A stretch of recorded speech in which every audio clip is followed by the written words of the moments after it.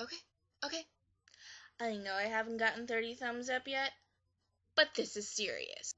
I was going to script this one out like I did with the last one, get all the details all set up and you know, you know, rehearse it and stuff. But yeah, that didn't work out. So if you're watching part 2 of this whole Justin Bieber rant thing, and you probably watched the first part. And if you didn't, there's a link in the bottom bar. For those of you who did, let's get on with it, shall we? So, we're all here to talk about Justin today and his lovely girlfriend, Selena Gomez. I think it is a bunch of crap that he's saying that they're not together.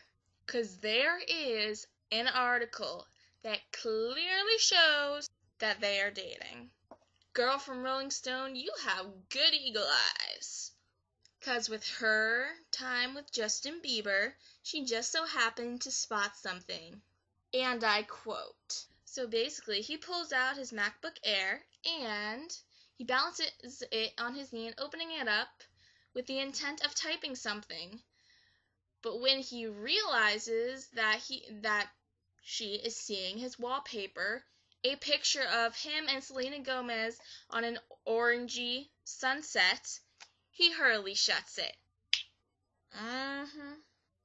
If that's not proof enough, I don't know what is. And I would actually like to make a correction of my last rant. It wasn't a love boat of kisses.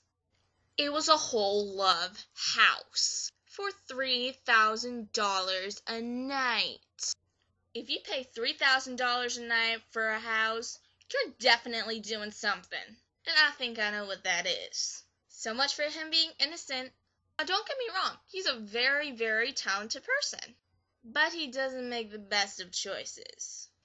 No, I'm not hating on him, don't you worry, because I like him. He's really cute and really talented.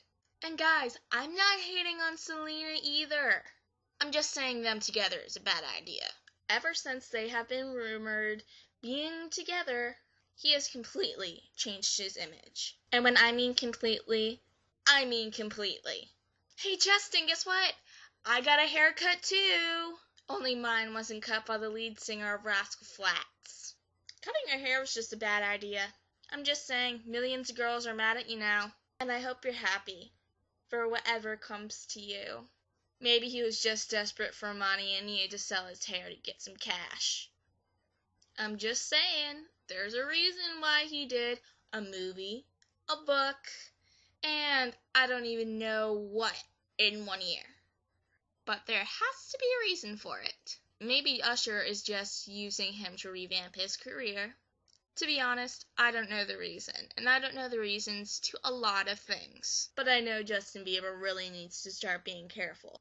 Justin, seriously, if you're watching this, please take my advice. Don't be renting a house for your girlfriend. Unless you are married. I mean, seriously, just just stop, okay? If you, if you need to just stop dating for a while, do it. Because I'm concerned about your well being. See, I'm not a mean person. It's just, right now, you're looking pretty stupid. Just saying. Now, before I get any deeper, I'll be going now. So I'll talk to you guys later. Bye.